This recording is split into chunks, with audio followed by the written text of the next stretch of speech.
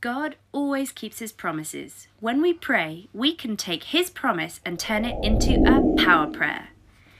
Here's how it works. Do you remember when the Lord God took all one million Israelites out of Egypt where they were slaves? Do you remember how he sent the nine plagues and parted the Red Sea? Who would you be celebrating? God, right? Well, we joined Moses up a mountain where he's been hanging out with God and he's been gone a while. When is Moses coming back?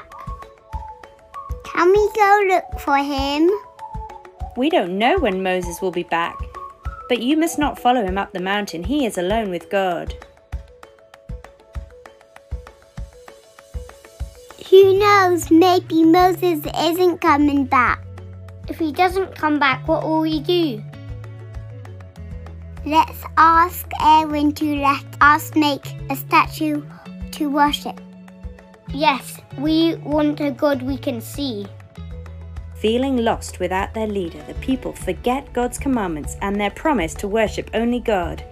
They bring their jewelry to Aaron, who melts it and makes a golden statue of a cow. It looks just like one of the gods that our neighbors worship in Egypt. Tomorrow will be a feast day, and we will worship a new God then.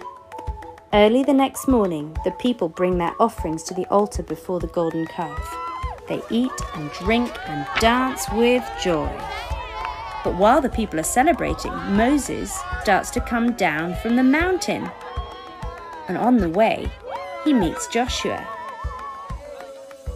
Listen, Moses, it sounds like war in our camp. No, I hear singing, don't you? Moses cannot believe what he sees. How dare you cheat God?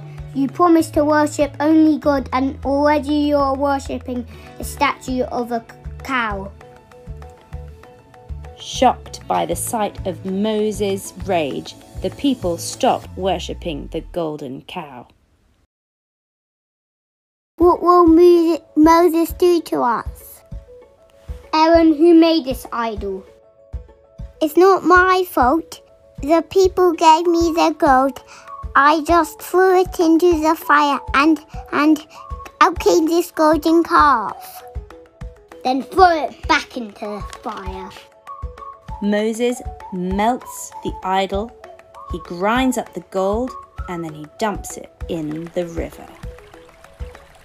Now all of you drink this water.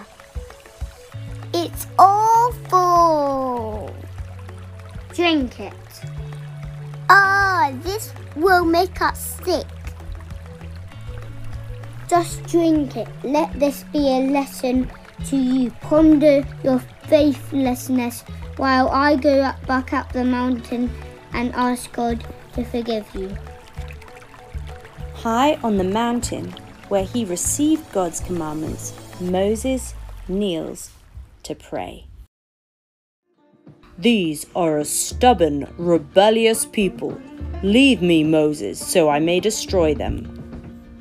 Lord, please forgive them. You promised Abraham, Isaac, and Jacob to bless their descendants. I know they don't deserve it, but if you destroy them, the other nations will think you can't fulfill your promises. Back in camp, the people pray for Moses' safe return. They hope beyond hope that the Lord will forgive them. But when they see Moses coming down the mountain, they are terrified. It's Moses, but look at his face. It's bright as the sun. The glory of having been with God shines on Moses' face. He covers his face with a veil so that the people will not be frightened. Don't be afraid, God has forgiven you. So let's recap and see how a power prayer works. God always keeps his promises. When we pray, we can take his promise and turn it into a power prayer. God had saved his people, the Israelites. Everyone knew it. God said, I saved you, now follow me, and you will be my treasured possession. But instead of treasuring God, the Israelites treasured their gold instead. They built a fake god in the shape of a cow from all their gold and worshipped that instead. They said crazy things like, This cow saved us from Egypt. you can imagine how God felt upset and angry. So upset that he wanted to start all over again with his people and wipe them out. But this is when Moses prayed a power prayer. Moses took God's promise that they were his treasured possession. And he said to God, We've messed up, God. Please forgive us. We don't deserve it, but you don't destroy something you treasure, right? And because God always keeps his promises, he didn't destroy his treasured possession, his people, even though they messed up big time. God forgave them because of Moses' power prayer. But as a reminder of how foolish it is to follow fake gods, Moses made the people drink the water the gold had been ground into. Yuck! Many years later, there was a better Moses. Jesus also went up a mountain to plead for forgiveness from God for us. And he didn't come down, he took our place on the cross so we can be forgiven and be God's forever treasured possession. Now that's good news. Here's a power prayer you can pray. Thank you, Jesus, that on the cross you said, It is finished. Thank you that death and sin forever are finished because of you.